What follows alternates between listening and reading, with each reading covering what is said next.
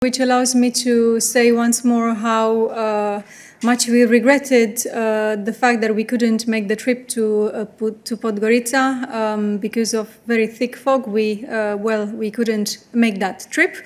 Um, of course, the president is keen to to discuss with her counterparts from Montenegro as soon as feasible.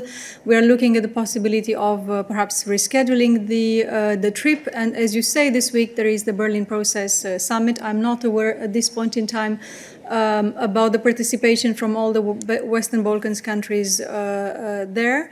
Uh, but of course, she will use um, that opportunity as well to to pass messages regarding our support to Montenegro. But watch this space.